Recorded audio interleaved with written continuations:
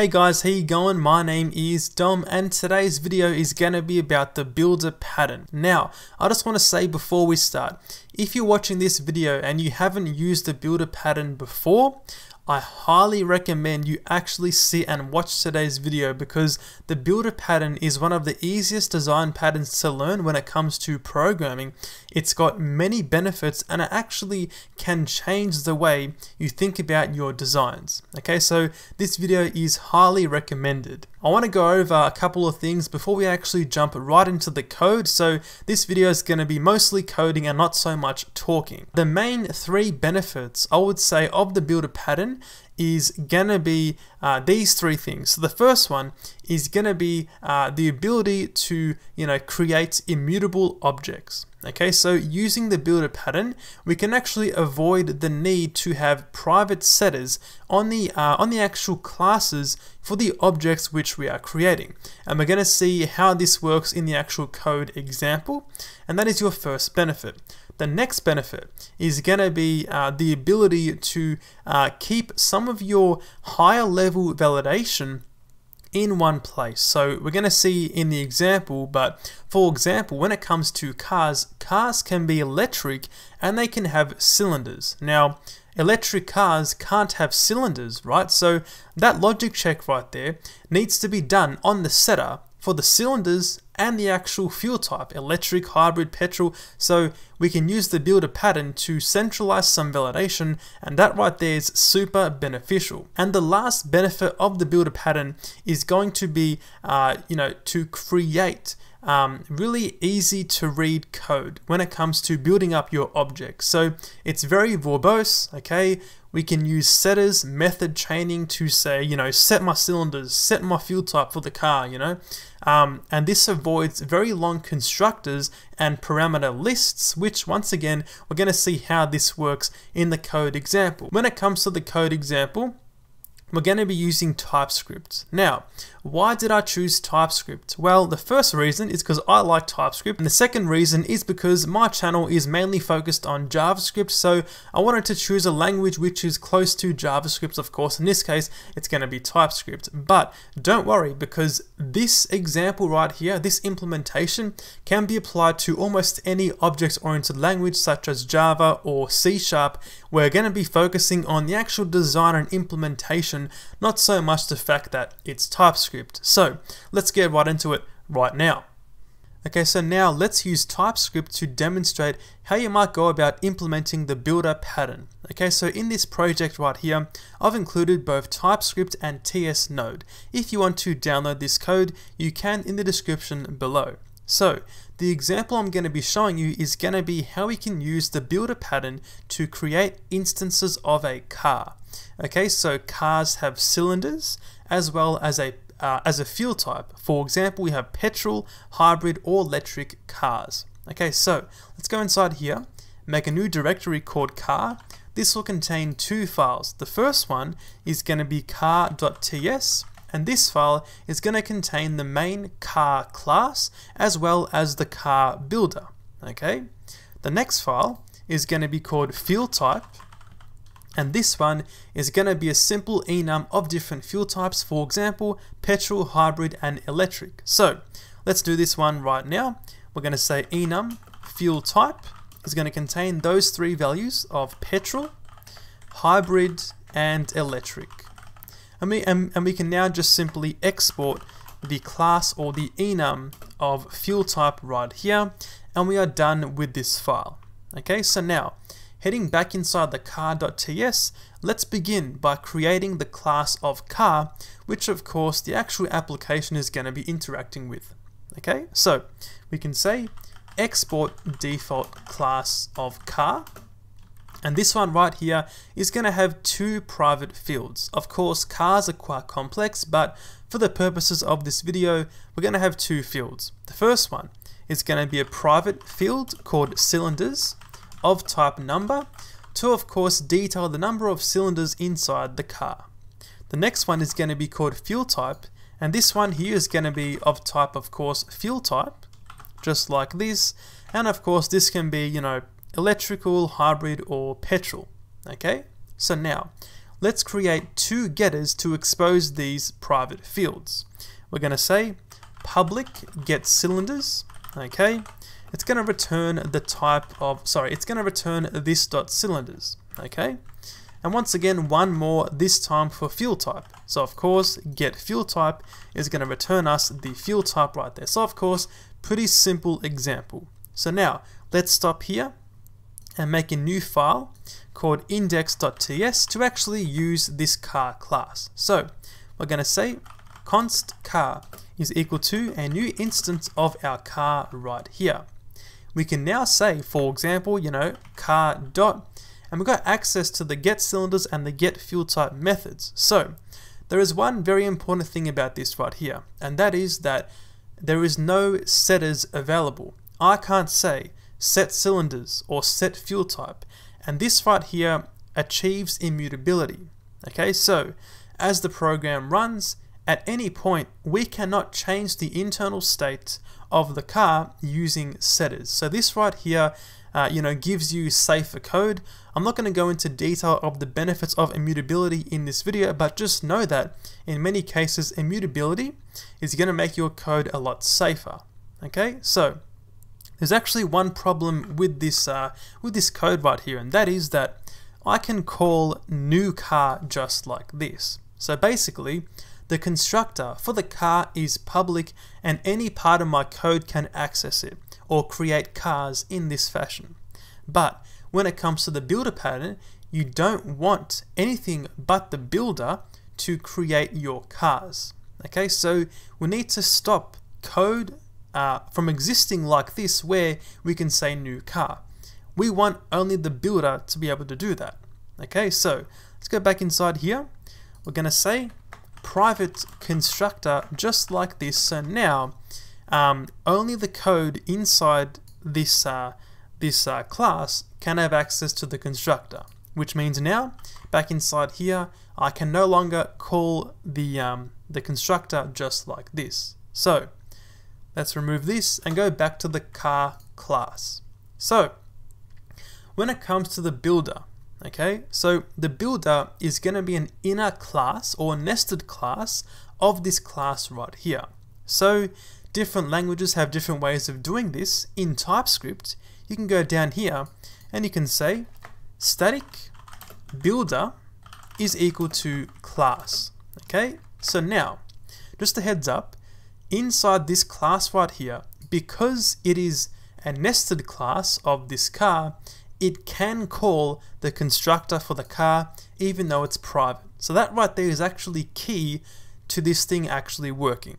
So we're going to see how that works uh, later on, but for now let's go down here and create the class of builder. Okay, so we're going to be using the exact same properties as above, so let's copy this right here and go down here and paste it, and we can now give defaults for these fields if we want to. For example, we can say the car will by default have four cylinders, and the fuel type is going to be, uh, you know, let's just do petrol by default. Okay, so now just keep in mind also that these instance or these private fields right here are different to these fields right here. It's a completely separate class even though it's nested. Okay, so now let's create the same getters inside this class. So I'm going to copy this right here and go down here and paste those two getters inside there and it works in the exact same way. But where it gets interesting is we can now start implementing your setters. Okay, so this right here, you know, your setters are going to be made available to you before the car has been built. So basically, we're preparing the data for the car, which means the validation is going to be also inside here. So let's make a new class called, or new method, sorry, called public set cylinders. This right here will take in the number of cylinders, once again of type number, and we can say something like this cylinders is equal to the cylinders which we pass in. We can also return the instance of the builder and this right here is going to give us the ability to do method chaining. We're going to see how this works very shortly. But when it comes to the cylinders, we only want, um, you know, the programmer to choose a certain number of cylinders. So let's go up here and we're going to say if not, then define some valid cylinder counts. We're going to say 0, 4, 6, 8, 10, and 12. These are all valid values for the cylinders. Okay? We can now say dot includes, then of course pass through here cylinders. So now essentially, if the provided cylinder count is not one of these values right here, we can throw an error. We're going to say throw new error, and we're going to say invalid number of cylinders, just like this. Okay? So now, let's stop here and go inside the index.ts and make a new instance of the car builder. We're going to say const car builder is equal to a new car builder, or sorry, car.builder, just like this. So of course referencing the inner or nested class. We can now say inside here, you know, something like dot set cylinders. And we can say, for example, 8. So 8 cylinders, right? And that all works perfectly fine. So basically, this setter is going to set your cylinder count to be 8 inside the builder. Let's do the exact same thing for the fuel type. We can just say, right down here, you know, public set fuel type, then pass through here, of course, you know, taking in your fuel type of type uh, fuel type right there. And we can say this dot fuel type is equal to the fuel type which you pass in once again returning the instance of the builder. So now using method chaining go back inside here. We can now say dot set fuel type and pass through here. For example fuel type dot hybrid. So of course by returning this we're able to say, you know, directly onto this, use method chaining to, of course, call the next method right there. Okay, so now that is that is the main part of your builder done. So now, how do we actually, you know, um, create the instance of the car? So basically, we need to call the constructor right here. So to achieve that, we're going to be creating one more method on the builder. It's going to be called build. We're going to say public build right here. It's going to return, okay, we're going to say return a new instance of the car, okay, then we're going to pass through this instance of the builder, okay, so like I said earlier, we can call new car inside here because, you know, even though it's private, this builder can access the private methods or constructors of the parent class, but of course down here, we need to specify the parameter type um, you know, for the constructor. So back up here, it's going to take through the builder. So we're going to say right here, builder of type. We're going to say type of car.builder.prototype. So of course, in TypeScript, this right here is how you would define the type for in a class like this, for example. Um, in Java or different language, it might be a lot simpler. You know, it might just be, for example, type of car builder. Okay, but that is how it is in TypeScript. So let's go down here and we're going to say this dot cylinders is equal to then builder dot get cylinders. Okay, so basically this constructor is going to trust that the builder has validated these values. Okay, so now let's do the exact same thing for the fuel type. We can say this dot fuel type equal to builder dot get fuel type. So now let's go back inside this file and change this uh, constant to be car instead and we're going to chain on and we're going to say dot build right here. So now if I say, you know, console.log, I can say, for example, number of cylinders. Then pass through here, car.getCylinders. cylinders. So the car is now the instance of, you know, the actual car itself. From the builder, it's been transformed into a car using the build method, right? Cool. So now we can also say, you know, fuel type is just going to be car.getFuelType. So now let's save this and run this application. So we're going to say, you know, uh, npm start, press enter, and now we can see we get number of cylinders 8 and the fuel type is 1.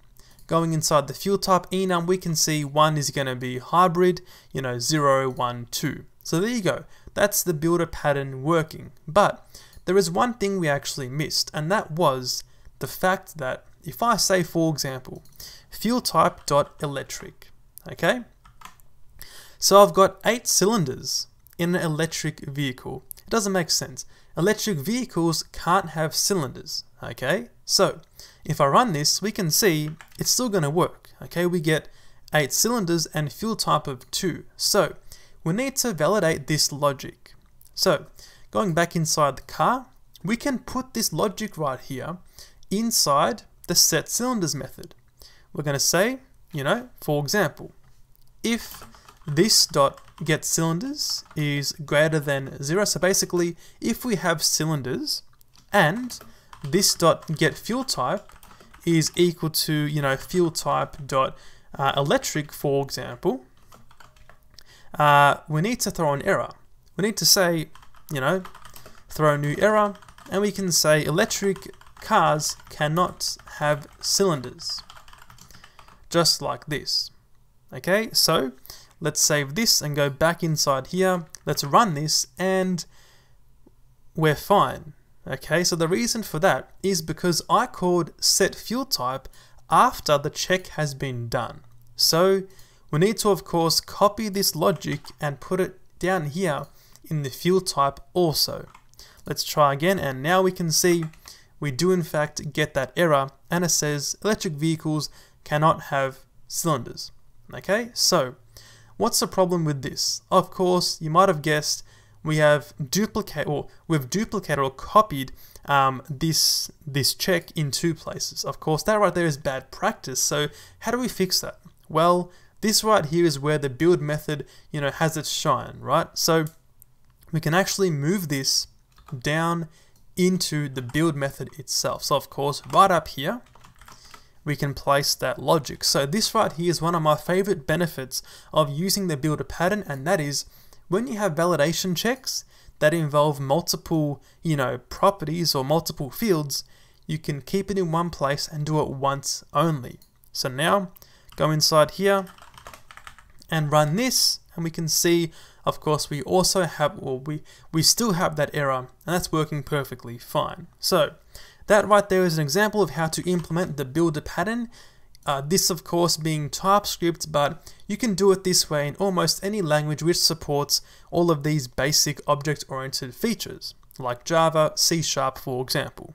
So let's just recap on how this thing works, or um, the actual key things to take from this example. The first one's going to be the immutability of the car. So of course, saying car, you know, uh, car dot, we cannot, you know, change um, uh, the car state using setters. It's all, you know, there's only getters available, right? The second thing is going to be that we're able to do some validation, which requires, you know, multiple fields in one place inside the build method.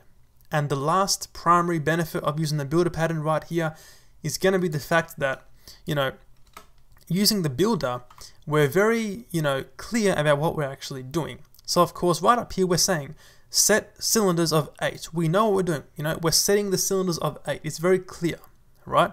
Same goes for the fuel type. If this right here was a traditional constructor example, it looks something like this, where you have const car2 equal to a new car, then passing through here, for example, 8 and then fuel type dot electric. So right here, using the enum, it's quite clear to see that it's going to be the fuel type in the second argument position, but the 8 here could be absolutely anything. It could be horsepower, torque, number of seats, I don't know, I'm not too sure, right? There's no label going along with it. So using the builder pattern and these setters, it eliminates the problem of having positional arguments and having an absolute mess of an argument list. So there it is guys, you know, that's how to do an, uh, that's how to do a builder pattern using TypeScript. Hope you guys enjoyed and learned something from today's video. If you did, leave a like and subscribe, and I'll see you in the next one.